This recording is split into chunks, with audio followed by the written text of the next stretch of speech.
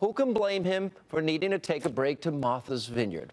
Joining me now is somebody who is hoping to put President Obama on a permanent vacation come 2012. That's former Speaker of the House, presidential candidate Newt Gingrich is back with us.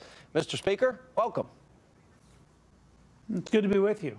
I think I've changed And, my mind. um, yeah. Go ahead. Uh, no, well, do you go ahead? You wanted to say something? I, no, I was just going to surprise you. I was going to agree with Maxine Waters. I think if you listen to the, the exact quote you had a minute ago, where she said this level of unemployment is unconscionable, and you think about African American communities that have had 43% teenage unemployment, she's right.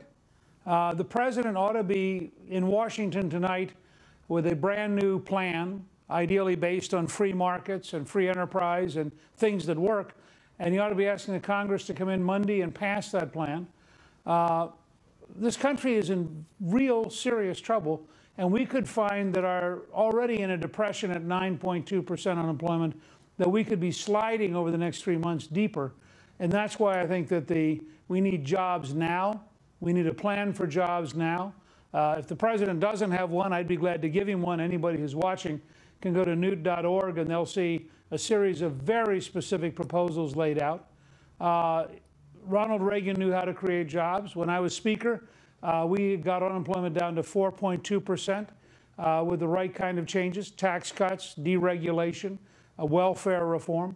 Uh, I think that the, uh, the, the strategy is clear. You just have a president who can't bring himself to give up uh, his fantasies of a bureaucratic socialism and uh, class warfare somehow leading us to a promised land. And it's turning out that promised land is unemployment and food stamps. You know what's missing from my perspective?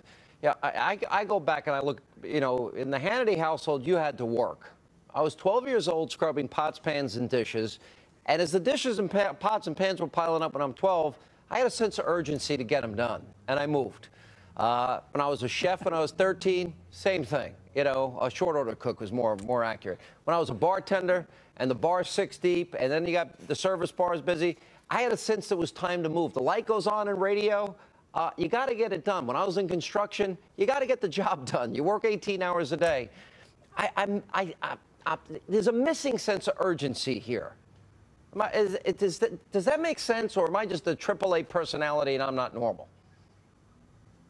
Well, I think there's a missing sense of urgency, but I think there's also this enormous dilemma. If you, if you are a left wing intellectual, which is what Obama really is, uh, you believe in a whole series of principles that don't work.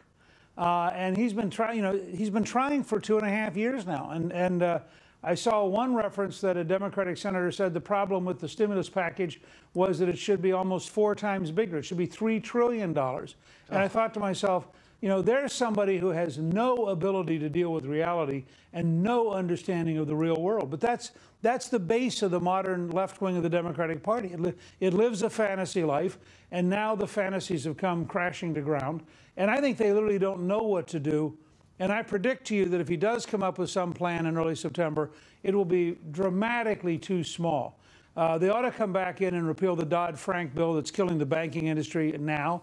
I met today with uh, people in the Thai community in Los Angeles, people in the Korean community, people in the Chinese community. In every community, jobs was their number one concern.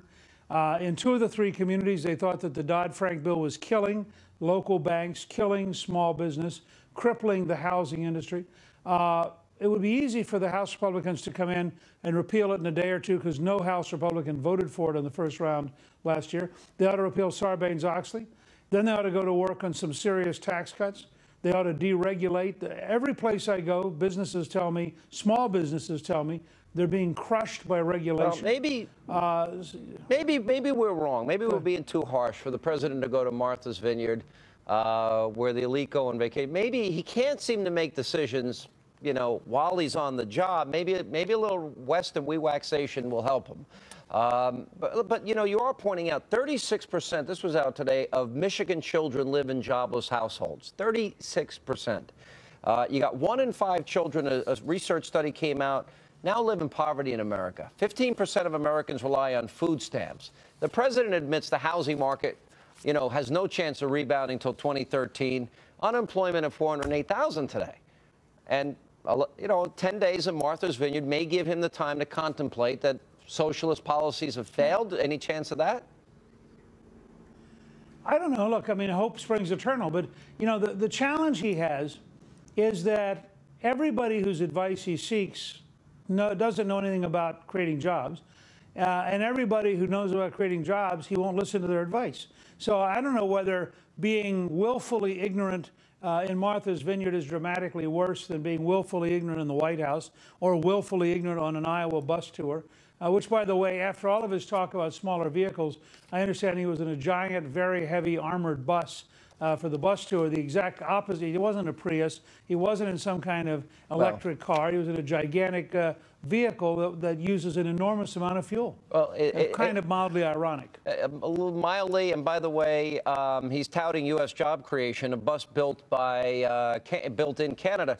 The president said this week, "I reversed the rece- recession until we hit bad luck. The bad luck being the Japan earthquake and tsunami, the bad luck being the Arab Spring, the bad luck being the economic events in Europe, and he's still calling for tax increases because that's reasonable."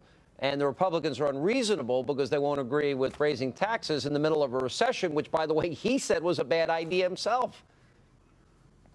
Look, fir- first of all, I think uh, conservatives and Republicans should say over and over again class warfare kills jobs, bureaucratic socialism kills jobs. If you're happy on food stamps and you don't expect to work in the rest of your lifetime, then what Obama's doing is fine.